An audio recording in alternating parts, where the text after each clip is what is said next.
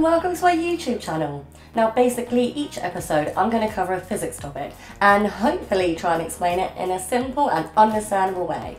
Some episodes are just going to be fun physics facts, but most are going to try and tie in to the current school curriculum. So when that's the case, I'm going to put the key stage in the episode title. Thermal equilibrium is actually a really simple concept, but it does have a bit of a fancy definition. The condition under which two physical systems interact with each other and exchange no heat energy.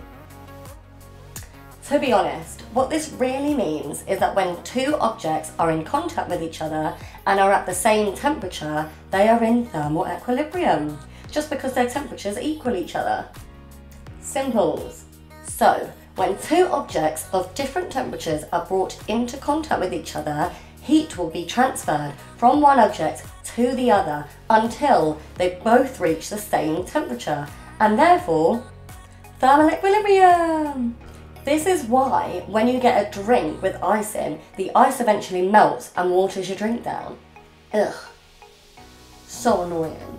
Anyway, this is a process of the water warming the ice up until they both reach thermal equilibrium and the contents of the entire cup are all the same temperature. But once thermal equilibrium has been reached, no more heat flow will take place. So, no more warmth will transfer from the water to the ice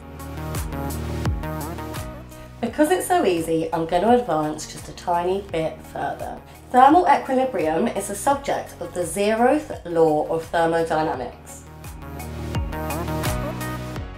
What's thermodynamics? Thermodynamics is the study of the relationship between heat, temperature, work and energy. And the zeroth law is not a law named after a man called Mr. Zero. It's literally like zeroth law.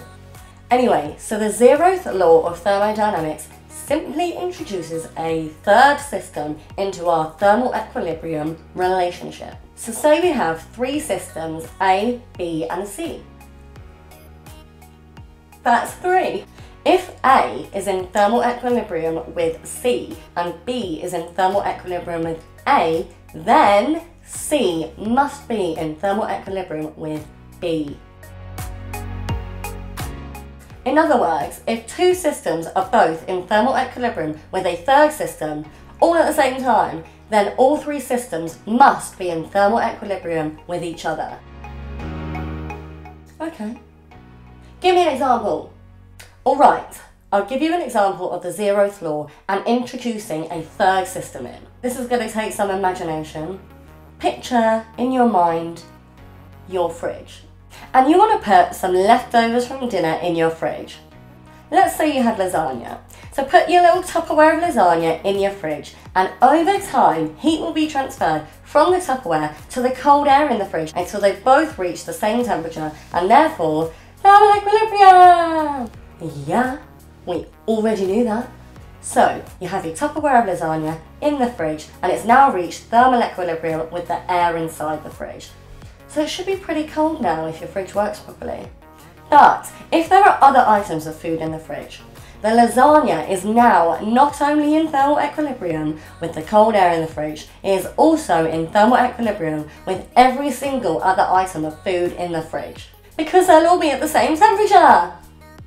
So the lasagna, the butter, the milk, the pizza will all be in thermal equilibrium with each other as well as with the fridge. Zero law.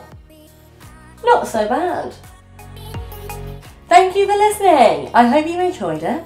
If you did and you want to learn about other cool physics facts, then please like and subscribe and watch all of my other videos. And if you want to learn about a specific topic, please leave a comment below and I will try to do a video for you.